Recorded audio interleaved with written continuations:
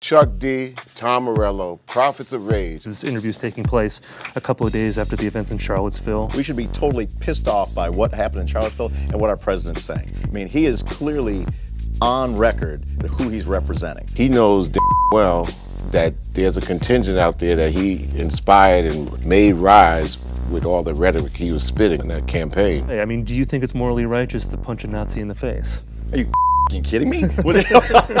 Resistance to injustice happened before Donald Trump, it'll happen during Donald Trump, it'll happen after Donald Trump. So it's like, can it get worse? Of course it can get worse. The Nazis and the KKK have unhooded themselves because they've taken off the hoods in the Oval Office, so they feel more comfortable taking off the hoods on the streets.